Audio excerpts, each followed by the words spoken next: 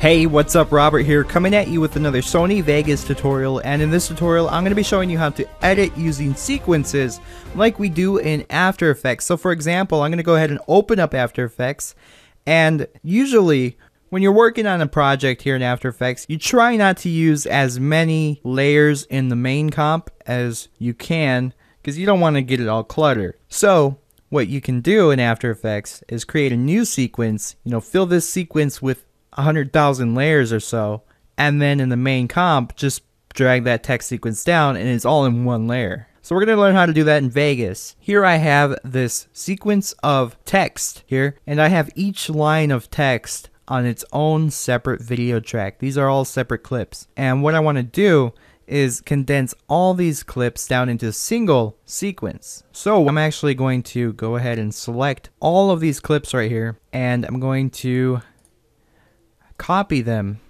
Now I'm going to open up another instance of Sony Vegas. Now Sony Vegas, you can have as many windows open as you want. It's just like a web browser. So that will allow us to paste the clips into a new Vegas project here. And I can edit this, have as many tracks as I want open, and then just simply go to File, Save As, save it as List Sequence, save that.